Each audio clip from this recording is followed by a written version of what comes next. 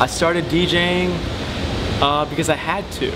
Uh, I love producing, I love making music, creating the tracks.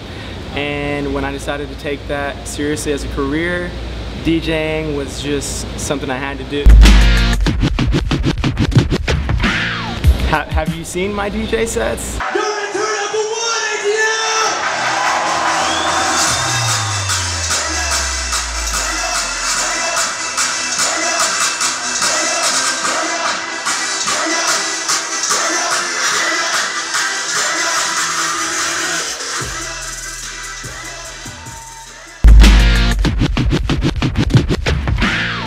Be playing every night, you're gonna be traveling, and it, and it can, it, it's easy for it to become like a job.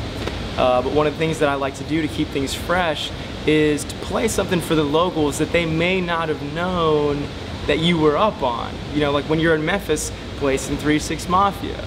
You know, like play, you know, play some Pastor Troy when you're in Atlanta. Uh, play a lot of house, but I think what's the most notable aspect is I play fast.